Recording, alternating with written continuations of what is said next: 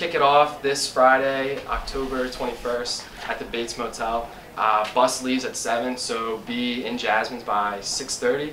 Um, there's three attractions that you're going to be able to go to. You're going to be able to go to the Haunted House, um, which is the Bates Motel. There's a corn maze, and there's a creepy uh, hayride. And then Monday the 24th, we're having Ghost Hunters.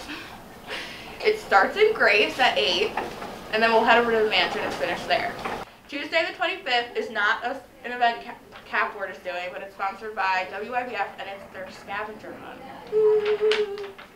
Wednesday, the day after the scavenger hunt, is going to be Capture the Clue Mystery Dinner. It's $5, and it's in the mansion At 6. Yeah. at 6 o'clock. Today, Athletics is kicking off Halloween Havoc, where um, we go out and support the fall sports entering in the playoffs and also the new winter sports like basketball. There's going to be a lot of different competitions uh, and different prizes like costume. And then following that, following that at 10 in Grace is the booty dance. All proceeds go to cancer. Uh, I believe you can dress up, so do that.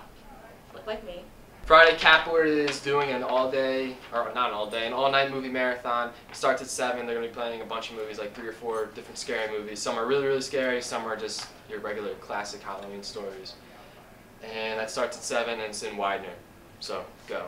And then Sunday, the 30th, at 7.30, CAP Board is doing their Haunted Mansion. It's $3 for students, $5 for non-students, and $10 is the family rate because we're opening it up to the community because it's our service event, and all proceeds go to the American Cancer Society.